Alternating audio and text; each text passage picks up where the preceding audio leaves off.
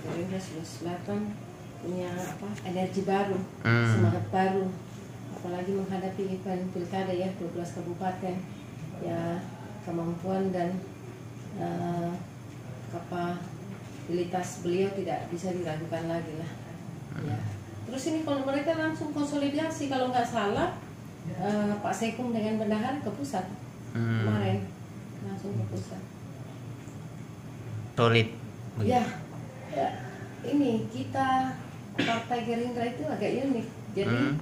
kita kan sistem komando. Ya. Siapa pun pemimpinnya, ya tetap eh, satu padu untuk perjuangan Gerindra.